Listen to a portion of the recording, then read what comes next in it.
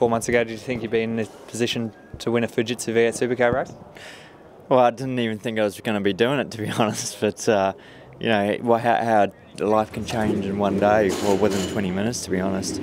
Um, so yeah, it's been it's been amazing to uh, get back. You know, I've never thought that I wouldn't be coming back racing cars. It's something which is uh, it's me. It's who I am and then uh, to get the opportunity to race the car and then to win it was uh, just a little bonus. Could we expect to see you do more motor racing events this year? I know you've said you'd like to do uh, endurance races, Phillip Island and Bathurst, but could we see more between them? Absolutely, you'll, you'll see me more often. Um, it's, it is part of my treatment. It's, um, it's very, very difficult to sit on the couch. I'm not a couch sitter. I'm a, I'm a racer, you know, and I need to get some some uh, medicine by being in my race car.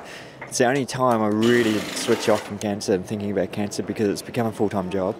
And uh, you know, when I'm actually in the car driving around the racetrack, is uh, you know, I'm just focusing on what I need to to be successful. Besides today's victory, how are you feeling physically, personally? Amazing.